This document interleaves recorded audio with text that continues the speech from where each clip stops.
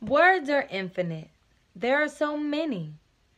So why is it that when our emotions are running high, we act as if there aren't any?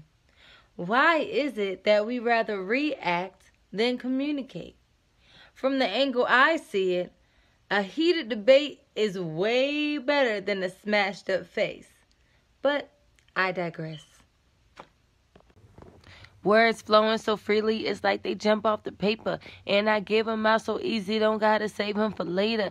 And I know just where I'm going, so I'm stacking my paper, building up my foundation, brick by brick like a mater. Once I get to the top, that motivation won't stop. Give them something to believe in, daily vitamins, what I'm feeding.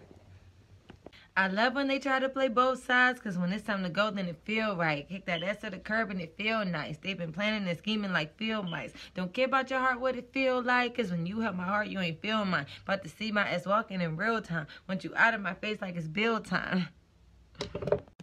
I'm not trying to be like you. I aspire to be like me. Spread the light to those who lost to guide the way so we can see. Remember, I almost lost my fire. Ain't no one diminishing me. Burning chickens perfectly seasoned. Bite my style, don't make us even. Crying out for attention just like a teething. Wanna be real? First, you gotta learn to face your demons.